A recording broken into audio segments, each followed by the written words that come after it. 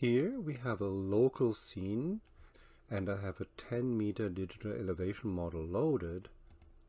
And here it is, we are in the Glacier National Park area and I'm draping the world imagery over the scene. And the navigator button in the scene is much easier if you expand it for full controls.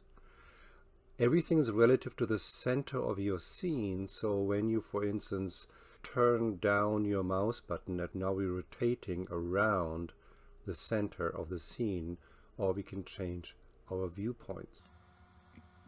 We can make the scene more realistic by giving the sky a sky color. We can do that under map properties and under general here the background color let's choose a pale blue and it looks already better of course this is nothing different from what you are used to in Google Earth and many other 3D mapping software packages available one good analysis tool that is embedded is to create a profile directly from anywhere within the scene.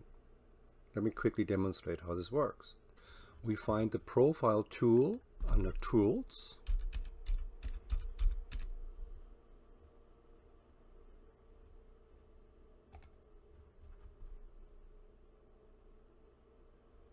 If you had a line file, you would now choose a line file.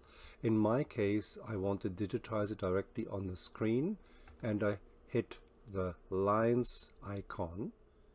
And now I'll wait for the tool to set itself up. Here are my digitizing options and also automatically it has been added here a new line as a default color and everything else selected. I just want to digitize a line and I start somewhere here. And I want to go on top here. Double click.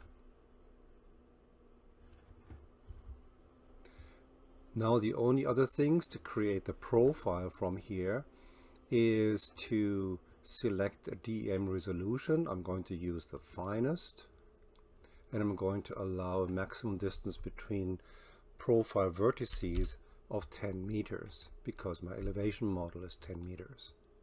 And I hit run. Here a new output profile has been added.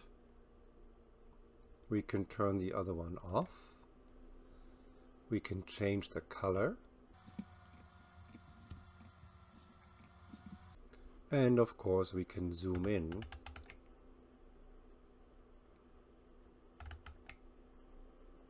and follow the profile line.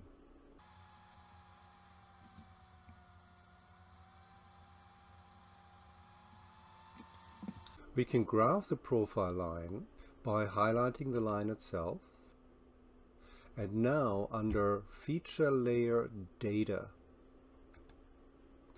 and then on the very right under create chart there is an option at the bottom to create a profile graph. Here's a profile graph, very hard to see at the moment. Let's change the color for better visibility.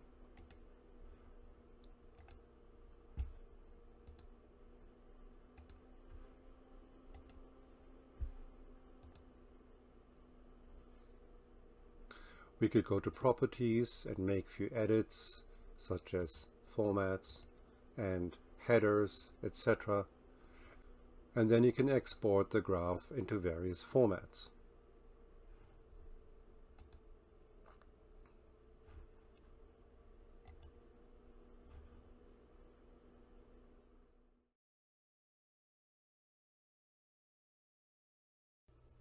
We have here different scenes, same data.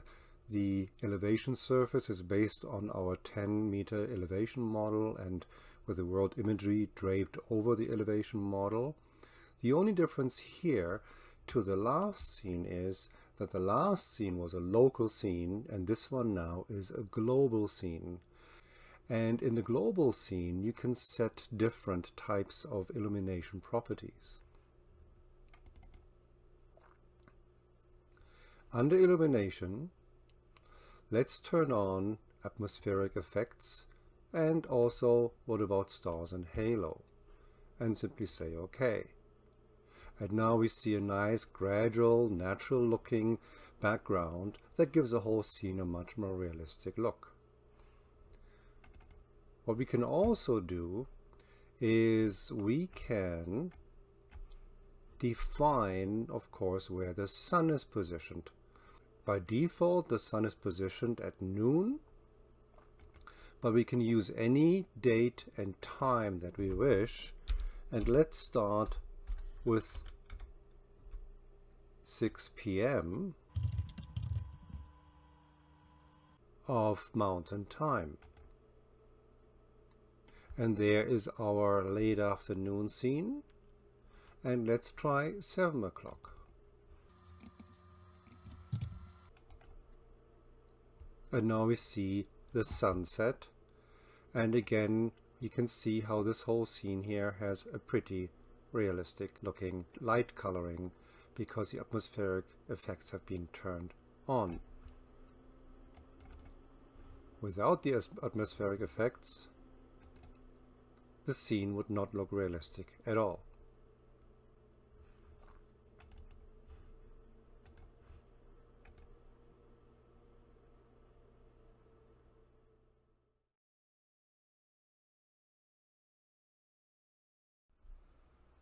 We want to carry out some visibility analysis using uh, our 10 meter elevation model I have here displayed the hillshade above it as well.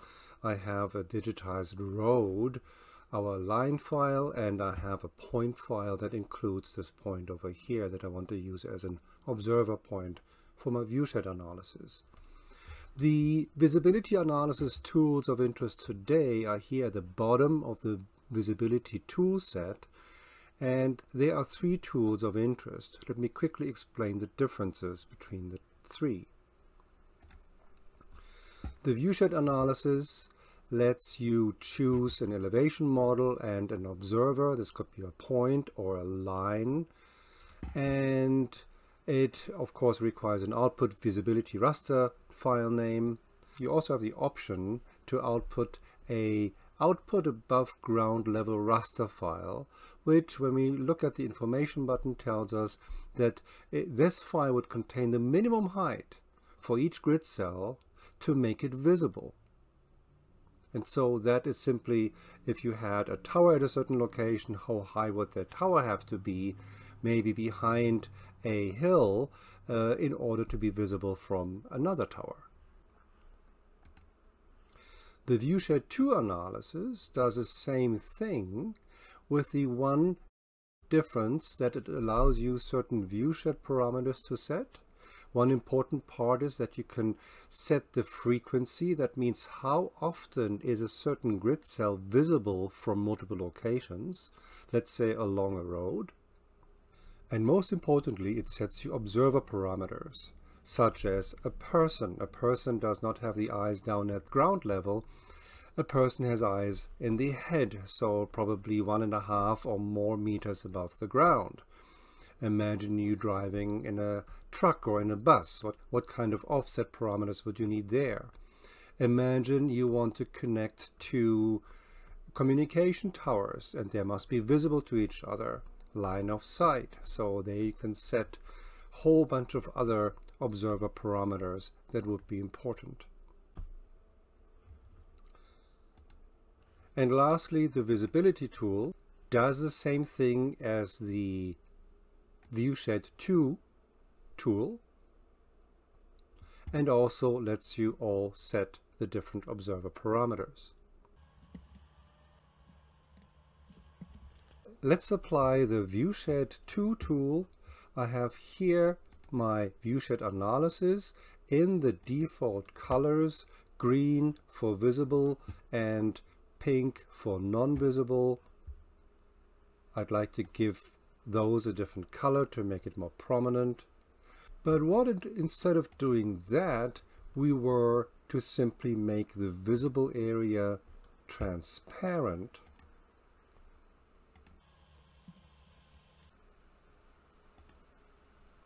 and thus allowing us to see what actually is visible from the ground, in this case the lake and mainly forested areas along the mountain slopes. Let me go back to the original color to show you the difference between this one and if we were to increase the height of the observer point, this one over here, by 10 meters. If we're 10 meters higher, then we can see this whole area in addition to the purple area.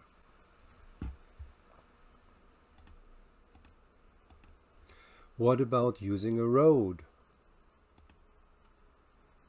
Here is the view shed along the road, simply again displayed in a different color.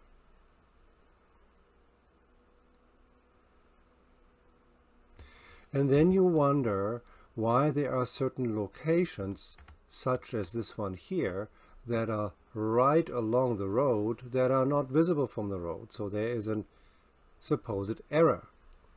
But please remember the following. Visibility analysis along a line is not carried out along the line, it is only carried out along the vertices. Let's select the road.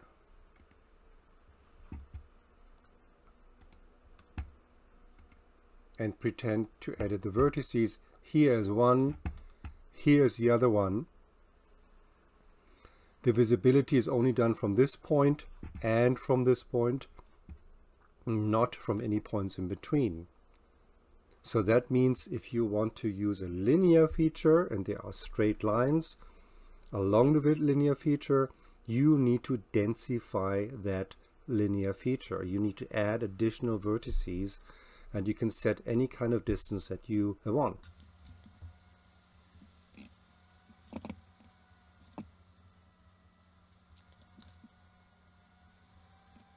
And lastly, I want to show you what happens if we output a frequency raster file. In the legend you see we have between 31, so obviously 31 vertices in our segment of our road. And some grid cells are only visible once, and some grid cells, the mountain tops, are visible from everywhere.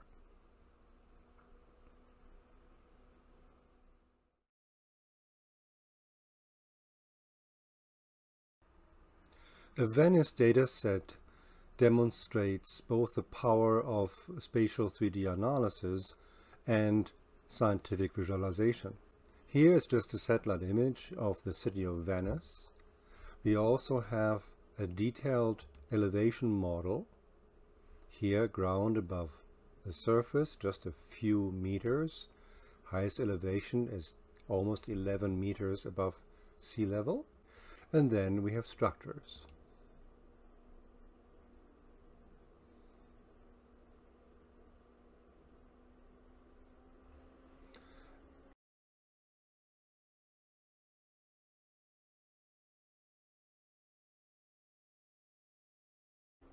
And between the structures, we have numerous canals.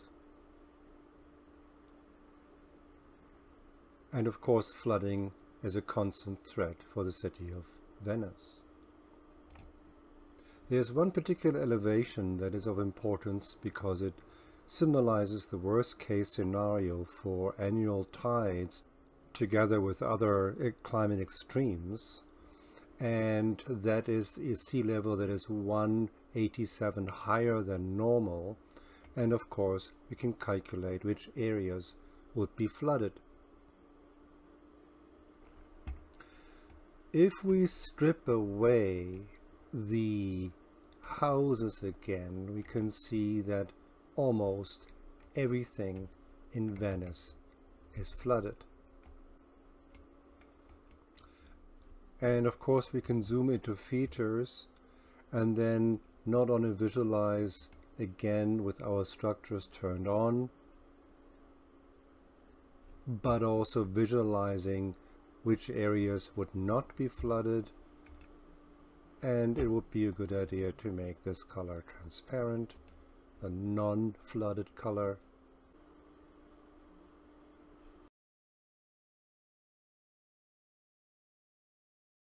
Here we see in detail that the courtyard would not be flooded and parts of this park.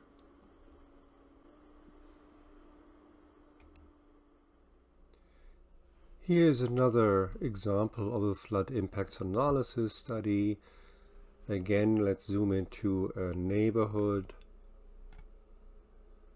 and turn on the regular monthly high tide value of 1.4 meter. So this is the Acqua Alta. This happens regularly in Venice. Large proportions are underwater, at least a few centimeters, for several hours, sometimes even days. The highest flood experience was in November 2019, the highest flood in over 50 years, and we can see that basically the entire city was underwater.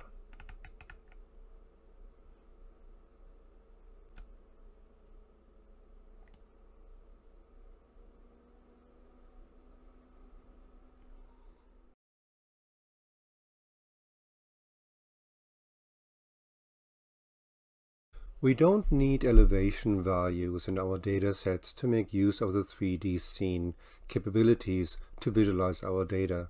In this example here, a world map with population per country. Usually we would not display it in this way because it's a choropleth map and typically we would like to probably do population density. In this case it makes sense when we display this in 3D I simply convert this into a 3D scene. And here's the same data set. And we can visualize the data now in a globe. And we can clearly see where the highest population lives. Very clearly, India and China and parts of Indonesia are sticking out very clearly. So in this case here, the story told in this kind of 3D way uh, is in a way much stronger than a color map would otherwise be able to do. And if we change our illumination, turn on atmospheric effects, turn on stars and halo, and just use the current time in Canada, now we have very different types of shading effects.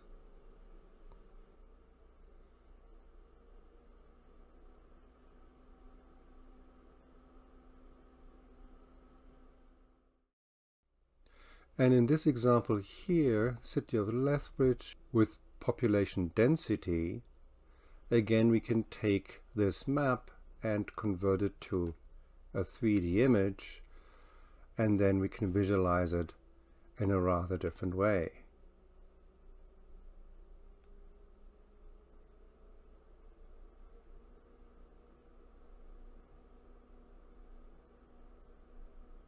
And we can add transparency.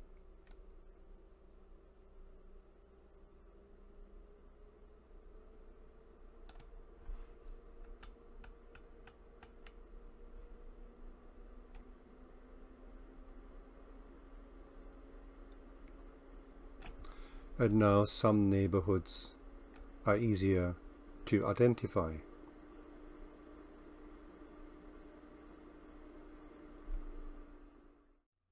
That's all for today. Until next time.